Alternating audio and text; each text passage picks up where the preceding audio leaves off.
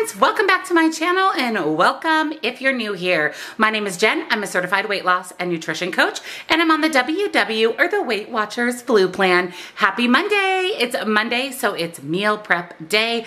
I have three really good recipes for you. We have breakfast, we have lunch, we have a dessert that's going to take you back to your childhood and not to mention it's incredible. So if you're excited for another meal prep, give this video a big huge thumbs up.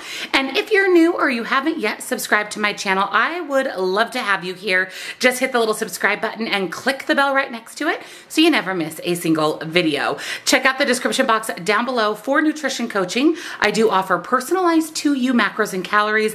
Let me give you the information to be most successful wherever you are on your healthy lifestyle journey. And if you want one-on-one coaching or to talk with me directly, I do offer one-on-one coaching as well. Links, discounts to everything I shared with you in today's video, as well as all of my favorite things, and of course my Facebook group are also down in that description box. Come on over, join us on Facebook. We'd love to have you. So let's jump into another WW meal prep.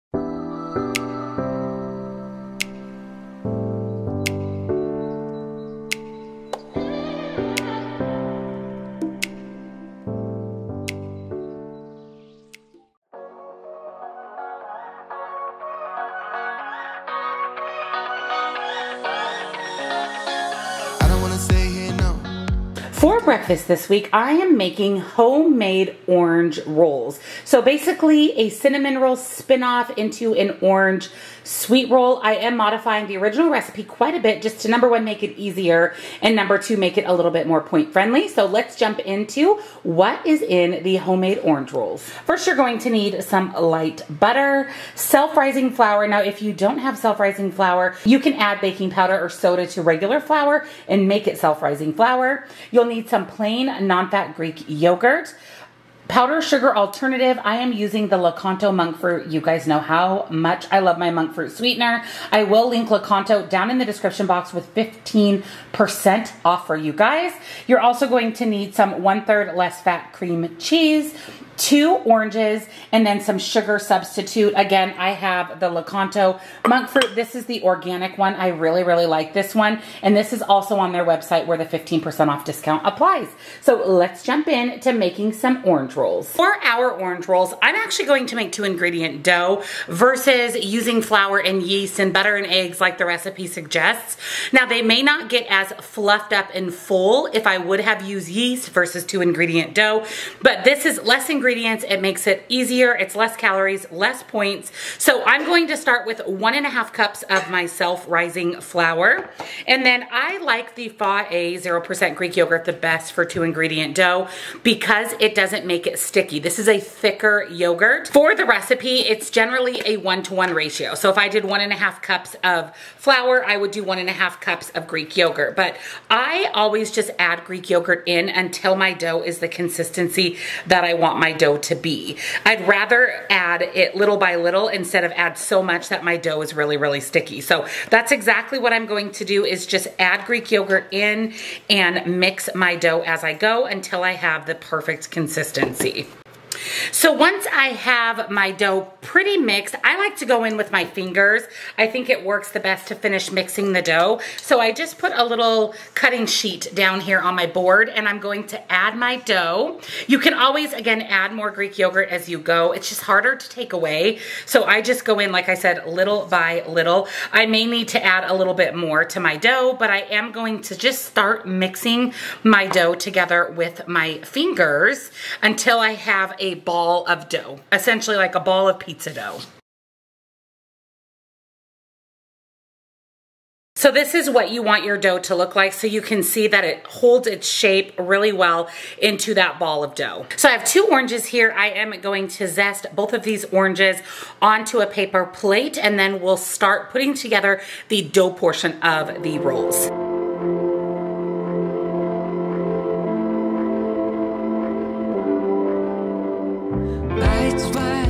So I'm going to take my ball here of two ingredient dough and I'm gonna roll it out into a long kind of tube looking ball of dough roll of dough so that I can cut that into the cinnamon rolls.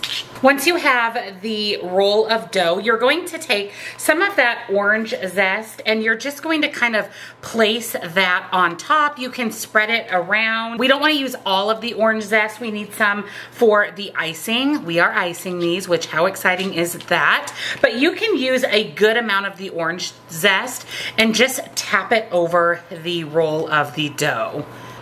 Then I have a couple tablespoons of light butter and I'm just going to drizzle that over the top. I did melt it down where it's pretty much melted.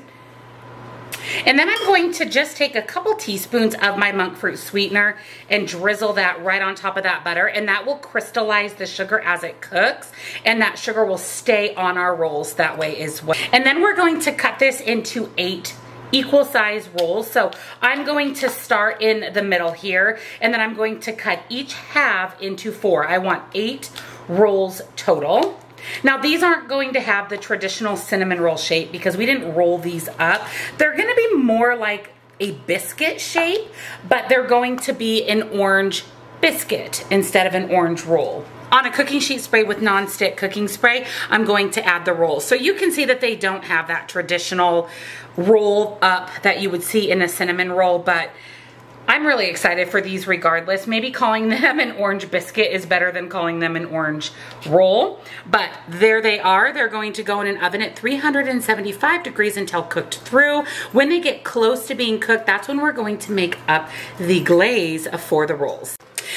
I just pulled the orange rolls out of the oven. While they're cooling, let's make the glaze. So to my bowl here, I have added one half of a cup of light butter and three ounces of one third less fat cream cheese. I'm going to add one cup of the Lakanto powdered sugar. Going to add all of the rest of the orange zest that we didn't add to the top of the rolls. And then for the liquid, I'm actually going to squeeze in the two oranges that we zested. I'm going to add as much of the natural orange juice as I need to mix this together to make a glaze or frosting consistency. So I went ahead and added both of the oranges. So now I'm actually going to use my handheld mixer here and mix this together until I have a frosting type of consistency.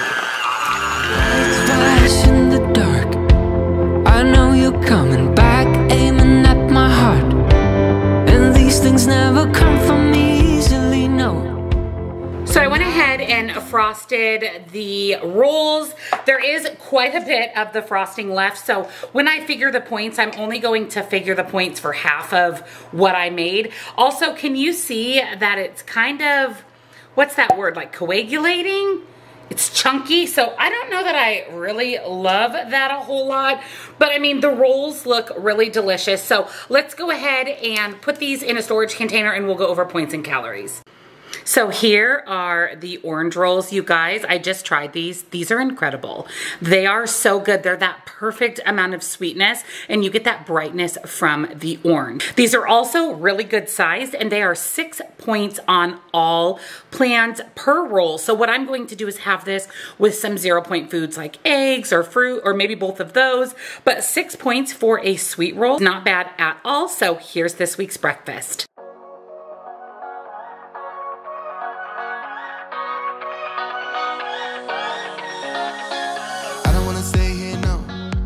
Lunch this week, I am making caprese chicken burgers. I'm so excited for this. These have pesto in them and basil, which literally are my favorite things in the world. So let me show you what's in today's recipe. First, you're going to need pesto, mozzarella cheese. I'm using the light mozzarella from Trader Joe's, but you could really use any part skim mozzarella, a tomato, ground chicken. You want to get the leanest that you can so that it's zero points or very low in points, some light mayonnaise, lemon juice, fresh basil, salt and pepper, and then buns of your choice. I'm using the Great Value buns from Walmart. These are three points per bun. I'm going to give you the points for just the burger in the event that you don't want a bun or your bun points vary. So let's jump into the recipe. So first thing we're going to do is actually make up the meat portion of the chicken burgers. So I have a pound of ground chicken. I'm going to go ahead and add that here to a medium-sized bowl. I'm going to add one tablespoon of pesto and some salt and pepper. And then I'm going to mix this together really well. I'll probably end up, honestly, going in with my hands to finish mixing this, but I'm going to get this fully mixed so that we can form these into our burgers. I'm going to form my meat mixture into four equal sized patties and put them here in my skillet. I did go ahead and spray it with some nonstick cooking spray. You could also grill these on your outdoor grill. You could pop them in your air fryer, your oven, whatever your preference is, but I'm going to just go ahead and fry these up on my stovetop. Just close your eyes and we'll be shooting stars And you know I can't wait for forever no more Now tell me are you ready? I'm going to get my burgers frying up and in the meantime we're going to chop our tomato, our basil and get the rest of the burger pieces put together. So I'm going to go ahead and slice my tomato. We have four burgers total. So I want eight slices of tomatoes so that I can put two thin slices per burger. And then I'm going to put together about 16 basil leaves. So I can put two to three basil leaves per burger. I love basil. You guys, I can eat this just as the herb. That's how much I love basil.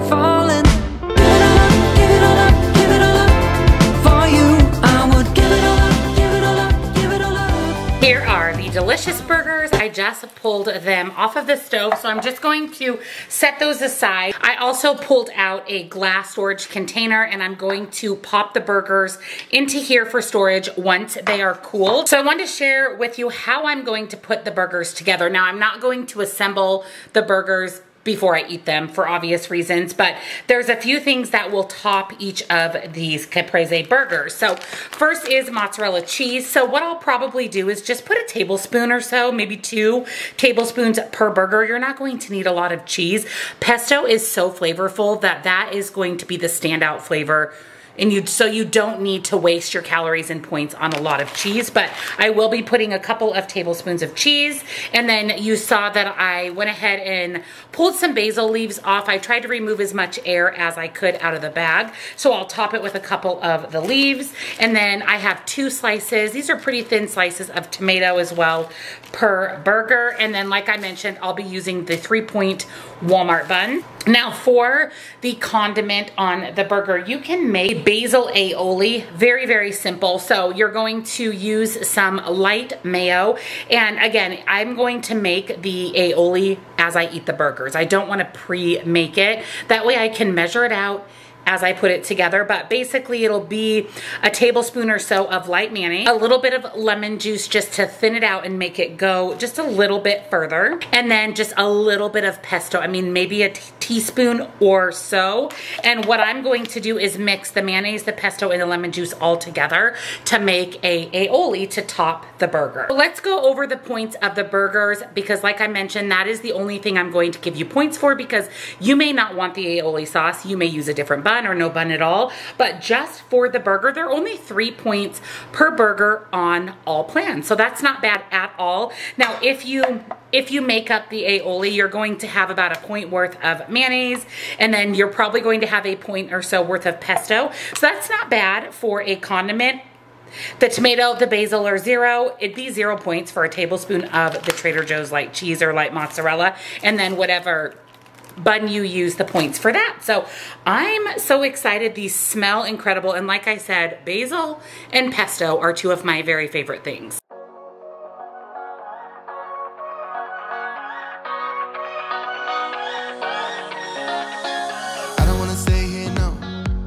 Sweet treat, I'm making Rice Krispie treats. My husband, you guys, is so incredibly excited for this. I'm going to show you two different ways to make these or one additional thing you can add to it if you would like. So you're going to need four simple ingredients. Of course, marshmallows because what Rice Krispie treat doesn't contain marshmallows? Rice Krispies, of course some light butter, and some pudding. I'm using the butterscotch pudding because if you watch my grocery haul, I originally was going to do pistachio flavored, but there are there is no pistachio pudding in my town. So butterscotch it is. I've melted down my three tablespoons of butter in a pretty large stock pot. I'm going to add in the entire bag of mini marshmallows and then we're going to stir until the marshmallows are melted.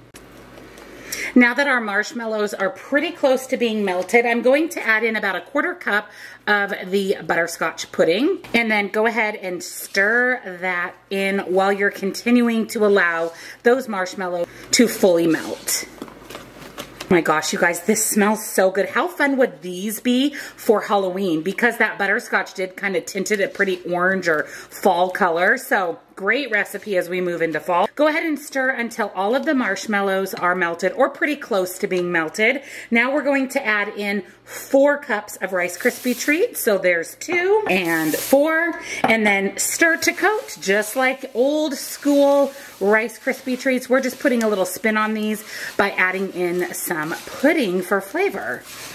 To a quarter sheet pan, I went ahead and added all of the Rice Krispie mixture. Now you can press this down with greased hands. I'm just using the back of the spatula and we're just going to press the Rice Krispie mixture into place. And there are the Rice Krispie treats. We're going to let these cool completely. And then I'm going to show you kind of a fun spin that you can put onto these. So the Rice Krispie treats are set up now. So my thought was you could take some white chocolate chips. These are just the Lily's or chocolate chips, butterscotch chips. You know Lily's has so many different flavors. Same with Bake Believe. And we can melt a few of these down and drizzle them over the Rice Krispie treats. Now my husband, as you may or may not know, does not eat chocolate, white chocolate included. So what I'm going to do is weigh out some of the white chocolate chips and then I'm just going to drizzle over half of the pan of Rice Krispie treats, saving the other half for my husband to be able to eat. So I went ahead and melted just a little bit of the Lily's white chocolate chips. I will put on my website the exact number of grams. Now by drizzling this over just half of the bars, it will not add any additional points. I didn't use enough of Lily's chips. And based on the number of bars that we'll be making with the chips, it will not add anything additional. So that is really nice. So again, I'm only going to do about half the pan, saving the non-chocolate covered ones for my husband. So here are the Rice Krispie treats. I know, I took one out of the middle, but here it is. I wanted to show you guys the size of the Rice Krispie treats. Now, that is a pretty good sized Rice Krispie treat. See that I cut my pan into 12 bars. I thought that that was a good size bar for the points. And each bar, whether or not you drizzle over some Lily's white chocolate or chocolate chips, is going to be five points per bar. That is not bad at all. I'm excited to have the side over here chocolate free for Troy. And then this is going to be my dessert for the week. So I'm so excited to be able to incorporate Rice Krispie treats into a weight loss journey. How great is that? Whether you're following WW or not, you can still enjoy your favorite treats without guilt. Thank you for joining me on this week's WW Meal Prep. I hope you are as excited as I am about these three recipes. I know I can't wait to dig in to these rolls, these burgers, and these Rice Krispie treats all week long. I think Troy's more excited about the Rice Krispie treats than I am actually. So if you enjoyed this meal prep, give it a big thumbs up. It really helps out my channel. And of course, if you're new or you haven't yet subscribed, hit that little subscribe button and click the bell right next to it so you never miss a single video. Don't forget to check out the description box for nutrition coaching, links, discounts to my favorite things, and head on over, join us over on Facebook as well. Happy Monday, friends. I'll see you in my next video. Bye.